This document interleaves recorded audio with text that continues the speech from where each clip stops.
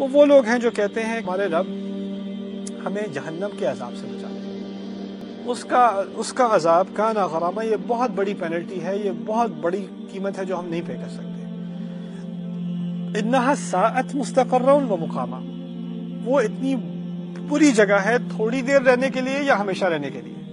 या अल्लाह हमें ये कभी ख्याल नहीं आता कि चलो जाएँगे भी तो कुछ दिन के लिए जाएँगे ना, फिर निकल आएँगे? ये ख्याल उनको नहीं आता। ये यहूद की बीमारी थी। लन तमसन नारो इल्ला अय्याम मअदूदा लन तमसन नारो इल्ला अय्याम मअदूदात वगर्रहुम फ़ी दीनिहिम मा कानू यफ्तरून हमें तो आग कुछ ही दिनों छुएगी उसके बाद निकल जाएँगे हम भी कहेंगे आखिरकार उम्मत मोहम्मद है सल्लल्लाहु अलैहि वसल्लम उनकी शफात किसी तो काम आएगी उसके बाद जन्नत मिलेगी ठीक है आखिरकार तो सारे निकल आएँगे ना जहन्नम के बारे में एक बात आपको समझा दो वला या वैलना इन्ना कुन्ना ज़ालिमीन एक ही आयत में जहन्नम के बारे में जितनी मालूम आपको चाहिए, वो एक ही आयत में सूरत लंबिया की। और किसी मालूम की ज़रूरत ही नहीं आपको। क्या कहा है? अगर अगर, मुझे जब ल इन कहा जाता है ना तो अगर को भी बहुत कम, बिल्कुल यानी तकरीबन ना होने के बराबर पॉसिबिलिटी होना उसको ल इन कहा जाता है।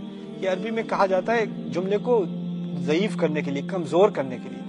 इस जुमले को बहुत कमज़ोर कर दिया गया है क्योंकि ये इन से शुरू होता है। एक तो शर्ती कलाम वैसे ही कमज़ोर होता है, उसमें लाम डाल के उसको मजीद कमज़ोर कर दिया गया ल इन मसत हम। अगर उनको तकरीबन ना छूने के बराबर भी इसने छुआ होता छुआ होता, और मसद माजी में है, इसका मतलब है एक दफ़ा छुआ, बार बार नहीं छुआ, एक मरतबा छुआ होता। अभी ये भी नहीं बताया किस चीज़ ने छुआ होता उन्हें।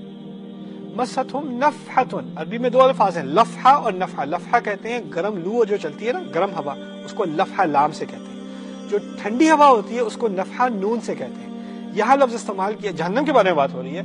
मेरा गुमान होगा, अल्लाह कहेंगे, लफहा लाम के साथ गर्म हवा निकलेगी जहन्नम से। नहीं नहीं नहीं, नफहा, नून के साथ। अगर उनको तकरीबन ना होने के बराबर एक ठंडी हवा भी छू ले, नफहतुन। और नफहतुन होता है जब आप दरवाज़ा बंद करते हैं, थोड़ी सी हवा आती है। उसको नफा कहा जाता है। यानी अभी आप जहन्नम में दाखिल नहीं हुए। जहन्नम के दरवाजे से उसकी ठंडी, तरीन हवा आप तक एक लम्हे तक बिल्कुल छुई और छूने में या तो आपको किसी सॉलिड चीज़ ने छुआ है, या लिक्विड ने छुआ है, या गैस ने छुआ है। यहाँ गैस ने छुआ है, उसका छूना तो बिल्कुल ना होने के बराबर होता है। वो भी एक लम्हे के लिए नफातुन अच्छा अगर ये ठंडा भी है, लेकिन ये क्या ये जो हवा जिसने मुझे छुआ, ये आग की हवा है? ये लावा की हवा है? किस चीज़ की हवा है? कहते हैं, मिन अजाब. ये अजाब की हवा है। अब देखिए, किसी को कोई टॉर्चर दिया जा रहा हो और वहाँ से कोई हवा है, इसका मतलब ये नहीं कि उस हवा से आपको तकलीफ़ होगी।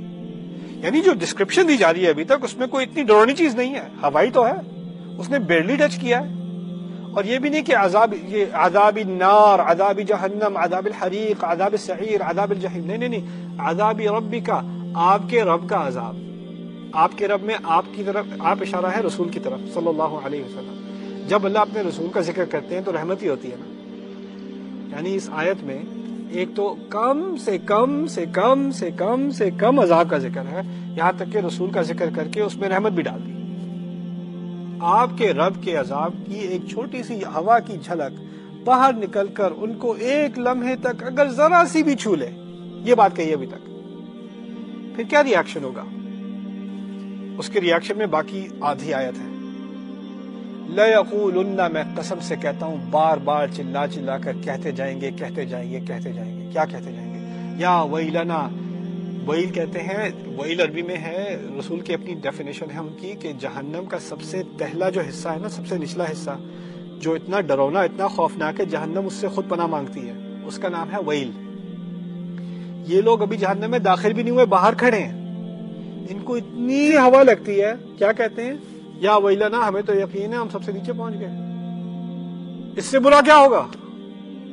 इन्ना कुन्ना गालिमीन बेशक हम हमेशा हमेशा हमेशा ही जुल्म करते रहे हमने सब चीज़ों का एतराफ कर लिया। देखिए, कोई मुजरिम होता है ना, उसको इंटेरोगेशन रूम में लाया जाता है। फिर उससे सवाल पूछे जाते हैं। फिर कोई अगर करप्ट पुलिस होगी तो उसको पिटाई भी करेगी एतराफ कर ले एतराफ कर ले एतराफ कर ले। वो मानता ही नहीं, मानता ही नहीं, मानता ही नहीं। अगर आप उसको इतना टॉर्चर करें कि वो सब चीज़ें मान जाए, सबका एतराफ कर ले, और वो उन चीज़ों का भी एतराफ करे जिसका आपने पूछा भी नहीं था। यानी पागल कर दिया मार मार के उसे।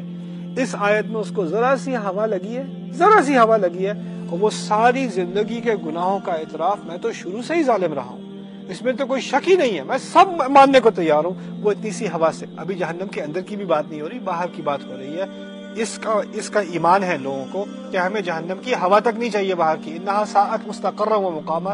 और किसी का ईमान जहन्नम के बारे में ये पक्का हो जाए कि उसको झूठी तसली ना हो कि जहन्नम इतनी बुरी जगह नहीं है तो फिर ये भी इबादुररहमान में से है। अल्लाह ताला हमें उनमें से बनाए।